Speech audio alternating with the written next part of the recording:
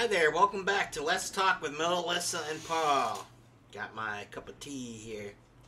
Yum yum. With me today, I have three out of the four dogs we have. Peanut's sleeping upstairs. This is Finn. He's my emotional chihuahua dog. And then on the chair behind me, we've got uh, Emma and uh, we've got Bella. Bella's the small baby. Emma's mama. So, Finn's my emotional dog. He sits there, he goes everywhere with me. So, yeah, he's a little more playful. There you go. All right, let's get started here today. I know it's we've been promising videos and we haven't been producing with everything family issues and everything going around us. It's been kind of put this project on the back burner, so I'm hoping to kickstart it off with this one. Um, first of all, I'm going to let you know our videos are for in, entertainment purpose only. All the information obtained is public knowledge. Personal opinions and discussions are always welcome. You know, I don't remove content whatsoever. Um, so, today we're going to talk about uh, YouTube channels. YouTube started out with users um, to share videos, and, and now it's turned into a huge business. Uh, you got uh, channels for shopping hauls like Walmart, Dollar Tree, you know, uh, and stores like that. You know, I went shopping. Oh, I got a, I got a, um, a package. I got a, um, a service where I get samples and stuff every month. I got Avon, I've got uh, and all that other stuff. Then you got videos out there that um, mukbangs. You know, I laughed about it. It's about uh, people who are uh, who like to eat, like to show off, kind of do like uh, a food critic type thing, and give it a little dining experience. A lot of fast food you mostly see, but you do see other content as well. There's also another one that disturbs me a little bit. It's called ASMR. They love it's people who do videos and they watch them to hear other people chew their food. It's to me it's weird. I, I can't get it. I don't understand it. It's a fetish somehow uh, that took off more than what I thought. Then you got DIY videos for arts and crafts, people doing showing off their talents and stuff. And then you got how to do videos, how to fix this, how to fix that, uh, walkthroughs for games, you know, and stuff like that, family outings, music videos, movies, and so much more that YouTube provides. But today we're going to talk about YouTube channels. Um, one channel uh, that my wife watches a lot. And I started watching some of the content and that, and I, I can only watch to a certain point, and then I come back to it again. Um, uh, trailer Trash Tammy. She's a comedian putting on skits. Everything she does is in character. She never criticizes or belittles her audience. She makes my wife laugh for hours. And thinking about it, she's very smart. She made a name for herself with 1.6 million subscribers. She's doing something right. So if you get a chance, check her out. Our main topic today comes to another channel. Um, we come to Cynthia, Cynthia Beaumont's channel. I am not a subscriber. Never will be. Because uh, I there's so many she puts out so many videos and then you got her haters that put out twice as much videos through her. And so I'm to kind of give you a tidbit what I'm thinking of uh, when I've watched so many of her videos. Um, you know, I'm constantly seeing when I see her videos is I can't believe she said that. That comes through every time, a majority of her videos is that she makes these ridiculous things. I think that's all script. It's just how she feels. It's the way she is. And sometimes she doesn't know her own audience when she makes these certain comments. Here, um, her early videos were funny and it dragged you in watching them. But for some reason, her channel has hit hard times, lots of bad language. She's paranoid, and she's depressed on hanging on to subscribers. You know, um, some people do it better than she's not the worst, but she doesn't. She's not the best person to try to hang on and try to grow her subscribers. Now, granted, somebody's going to look at my subscriber list heck, you got a dozen or so people. You're, well, I'm new. I've kind of grown. My wife had a channel um, that we were using. It had over several thousand people on it, but then it got hacked and then we couldn't get it back. YouTube wasn't very helpful with that. So we kind of started over and try to rebuild this up. And we're doing this differently. Um, you'll see a lot of the same content that Cynthia does here, but we don't you know, we're not going to be sitting there criticizing and yelling at people and we don't delete content. You know, we can't grow if we don't know what's wrong and how we can improve it. So, going back to Cynthia, um, I came up with five reasons of one things I've noticed about her videos. And granted, I, these are from the last year, year and a half that I've gone through. And believe me, I've gone through her videos. I've gone through her haters videos to see if what is true, what is not true, who's stretching what. And this is what I came up with with my top five with Cynthia's videos, okay, when she posts these. Uh, and first of all, I am not discouraging you to um, not see her or not subscribe to her channel. Um, it's free world, your choice. Um, this is just my opinion. If you don't like my opinion, I understand. Um, but um, I'm to kind of take this, uh, not so much of a hater, but kind of take this into a different way. First of all, my, my number five. She keeps you guessing about what version of Cynthia you're to get. Every day, every video she posts, from same day, she'll post multiple videos, which is fine but you never know what kind of Cynthia you're going to get. It's like a Dr. Jekyll, Mr. Hyde type thing on every video, you know. And then sometimes she changes in midstream. You know, she gets on a rant or a tangent, and then she's off topic, and then she's off into the pasture someplace, and then it sometimes she comes right bringing it back in, and sometimes she doesn't. Number four, she manipulates to get what she wants. Now, on YouTube, I've kind of learned this is called e-begging. Now, toxic people have a way of sending vibes that their audience owes her something or owes them something. She's never happy unless she's showing what she's per- purchased. By the way, she continues to remind her audience that she's short on funds to pay for things such as rent. Uh, I'm down to my last loaf of bread. Uh, I got tea. I ran on my expensive coffee. Uh, she it's it's nice that people feel sorry and send somebody something, but this is a constant. You know, there's other things to utilize to get if you need assistance. E-begging is not the way to go. Okay, Especially uh, some of her videos, somebody sent her something like a can of tuna and she wasn't happy. Appreciated that someone sent her the tuna. She was unhappy because it wasn't her brand. She doesn't like it. And it's like, you ain't happy. You know, you got to be happy you know, with your audience. So she's never happy. Number three, Cynthia will stretch the truth to gain her viewership. I won't say any more on it. View your content and you make your termination. Number two, Cynthia won't own her own behavior. Rather, owning her actions, don't expect an apology. So, what is the point to argue with her? She is single minded. She doesn't accept input or feedback or criticism. So, and she doesn't, you know, so she doesn't accept her own behavior on these videos. Number one, Cynthia brings irrelevant information into each of her videos. She drags it on.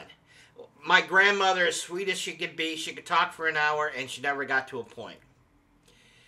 Cynthia is the same way. She'll in her everything is non-scripted. She sit there and her mind goes wandering off, and then you wonder why am I watching this video? Makes no sense. You know. So now 2020 has hit hard for everybody. Majority of us never experienced a pandemic like this before. Each of us had our own had our own lives turned upside down, making sacrifices to survive. Cynthia, I'm sorry about your loss of your husband Tommy. I really am. I understand that. I understand it's an adjustment period.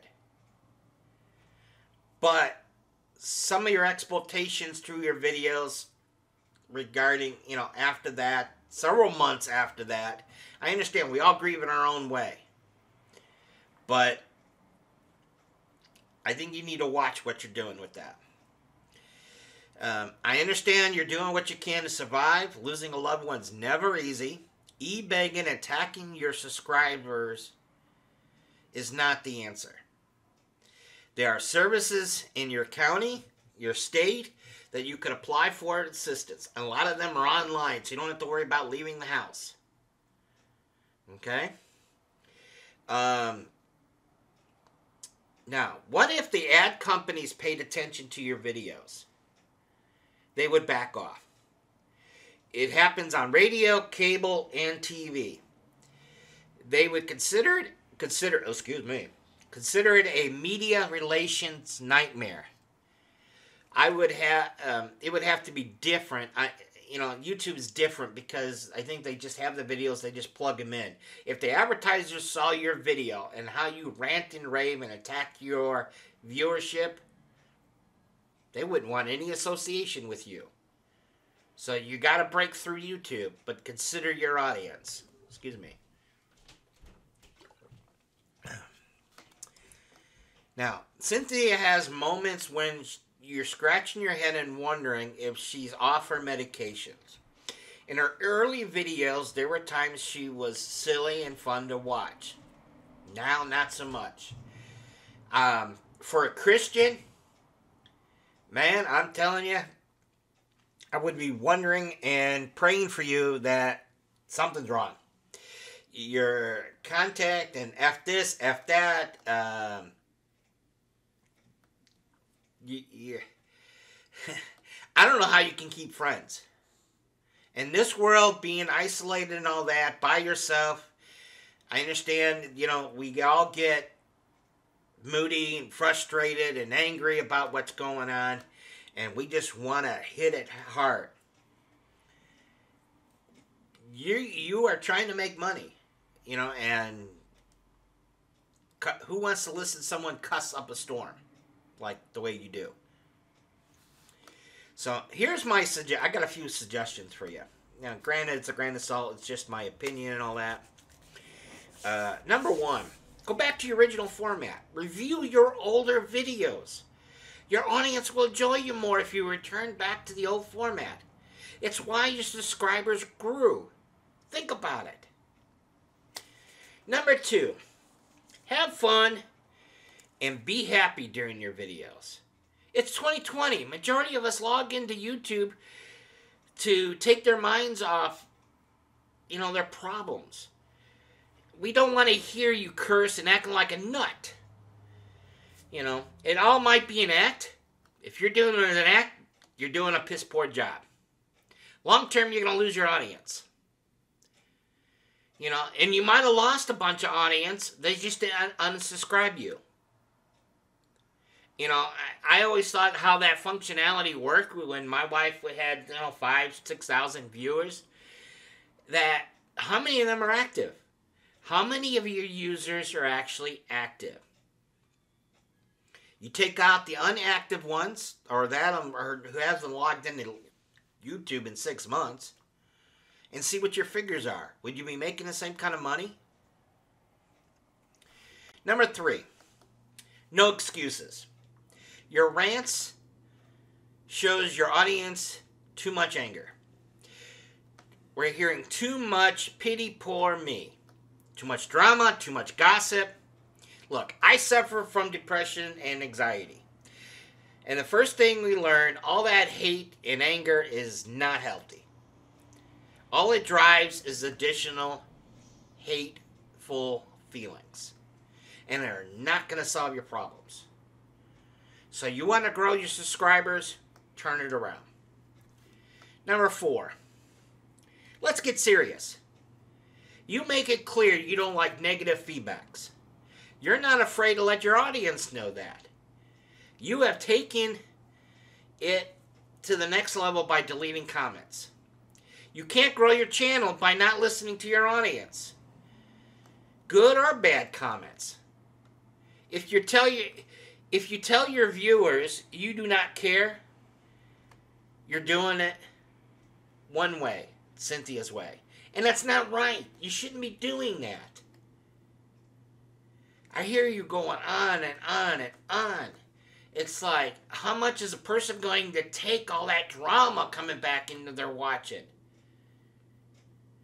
You know, even watching a drama movie, you don't get that much content coming from them, out of them.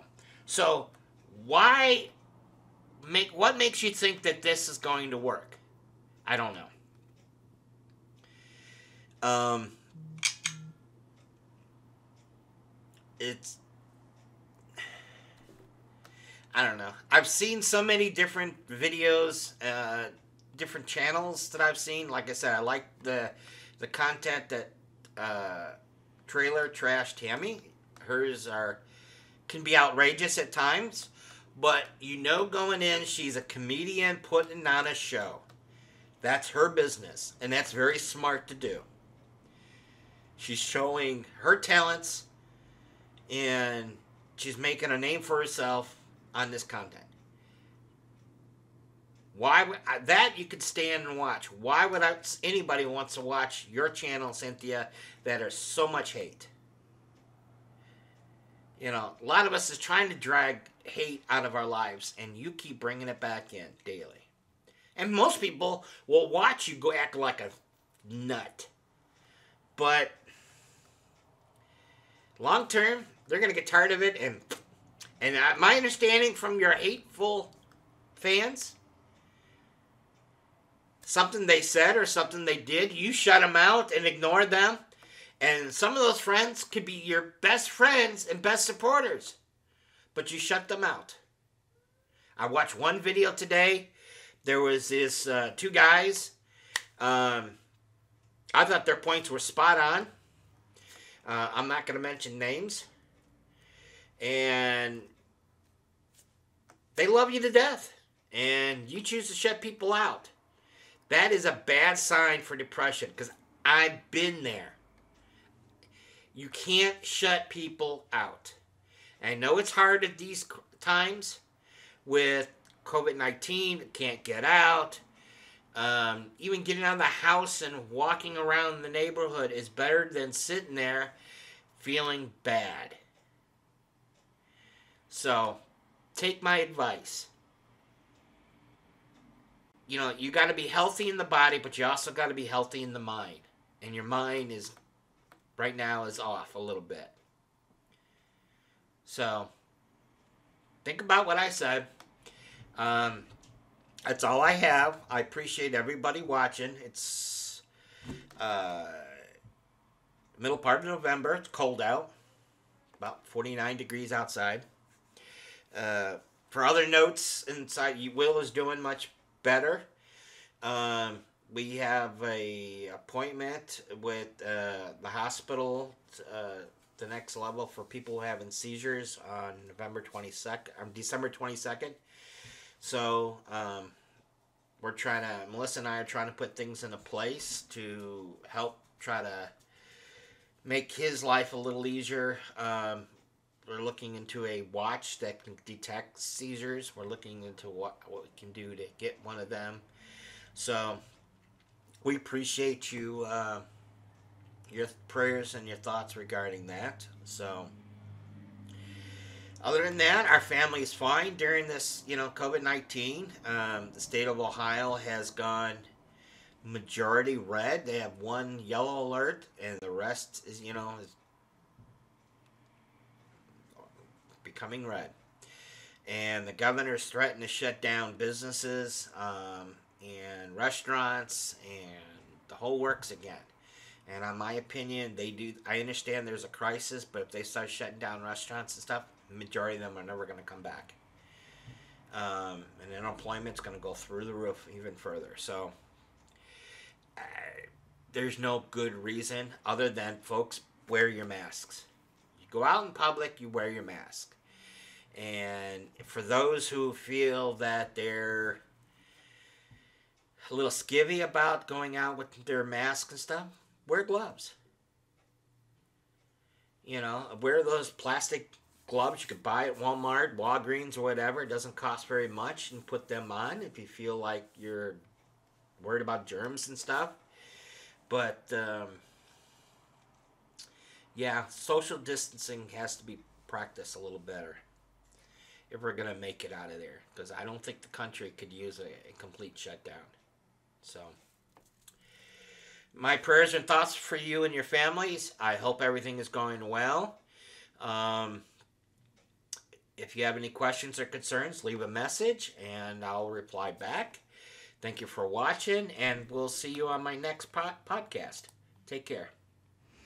If you have enjoyed this video, click the subscribe button to get the latest contents. And check out the other great clips on Let's Talk with Melissa and Paul on the YouTube network. Thank you.